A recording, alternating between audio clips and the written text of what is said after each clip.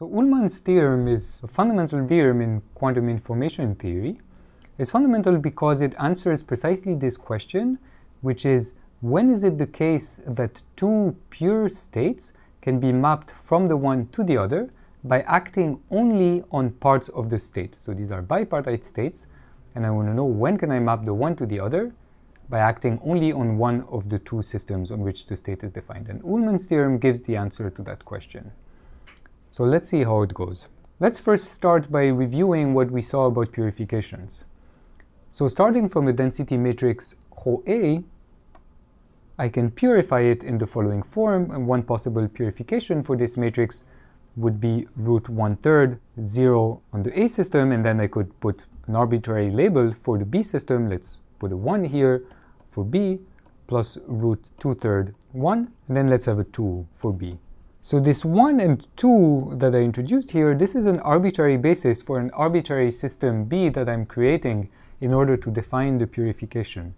I could have given you a different purification of the same density matrix, state psi prime AB could have defined as root one third 0 on A, and maybe if I feel uh, fancy today, I'll use the Hadamard basis plus B, and then root two third 1 put a minus on system B.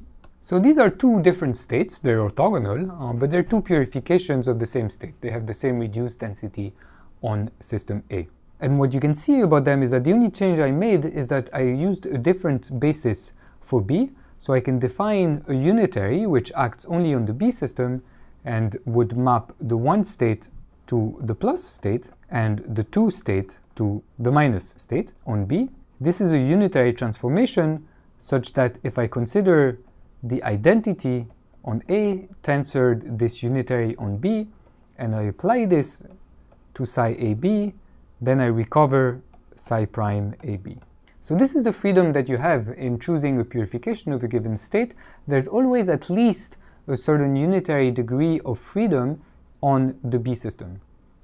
Now, is that the only freedom that you have? And Uhlmann's theorem gives us the answer. So here is a statement of the theorem. Uhlmann's theorem says that any two purification, psi and phi, of the same reduced density on A must be related by a unitary on the B system.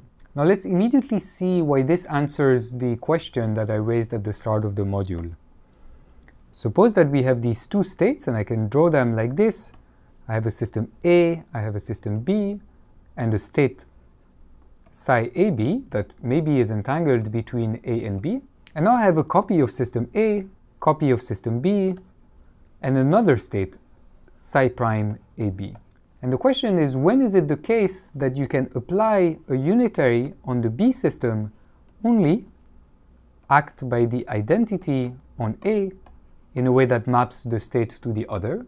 Well, a necessary condition is that the reduced density on A are the same for both states.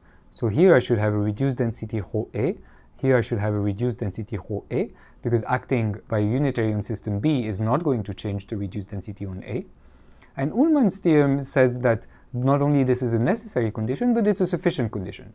If the two states have the same reduced density on A, then they are two purifications of the same state, and the theorem says that they should be related by a unitary.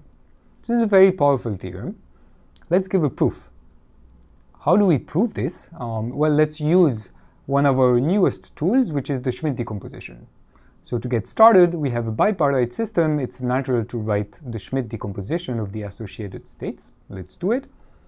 So for psi, in general, I can write it as sum over i, lambda i, ui, Schmidt vectors for system A, vi, Schmidt vectors for system B. Similarly, phi ab, I could write as sum over i of some other coefficients, maybe mu i, and then I would have wi on system A, and zi on system B. Now we saw that there's sometimes a little bit of freedom in the choice of the Schmidt decomposition, but not much. In particular, we can infer a lot about these coefficients and vectors by looking at the reduced density. So if I take the reduced density of the state psi on A, I would get rho A that is going to be equal to the sum over i of lambda i squared ui, and rho B, which is equal to the sum over i of mu i squared wi. And because both the ui's and the wi's are bases of system A, these lambda i squared and mu i squared, they're uniquely defined as the singular values, sorry, this should have been a rho A, as the singular value of the same reduced density matrix rho A, because that's the assumption of my theorem, which means that necessarily lambda i's are equal to mu i's. So in this decomposition, it should be the case that we have equality here. Also, the Schmidt vectors we saw are not uniquely defined, but what freedom do we have? There's two things. One is that we have a freedom in the phase, but let's imagine that I choose the phases to be the same. If necessary, I'll just change the phase of vi or zi to accommodate for that. And also, I can assume that the vectors are the same. The only freedom I have is when there's a degeneracy in the spectrum of the reduced density matrix, and in that case, I can choose any basis for the um, eigenspace that's associated to that de degenerate singular value. So I can use the same basis for the eigenspace both for psi and phi because they have the same reduced density. And so again, I can ensure in this way that the wi's are equal to the vi's. So here is what I can always write my Schmidt decompositions like. And now the only remaining part is the part on the B system. And these need not be the same because I don't know that the reduced densities on B are the same or not. They might be different.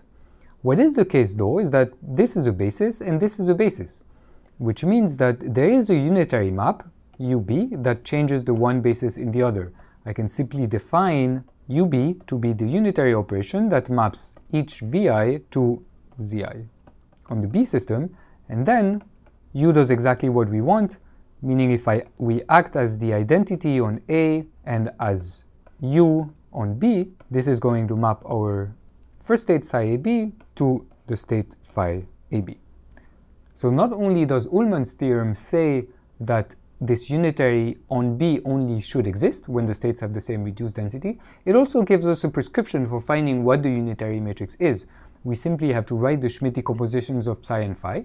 Because they have the same reduced density on A, we know that we can choose such decompositions that are such that the Schmidt coefficients are the same, and the Schmidt bases for the A system are the same, and then the unitary UB will simply be a unitary that maps the Schmidt bases for the B system associated to the second state.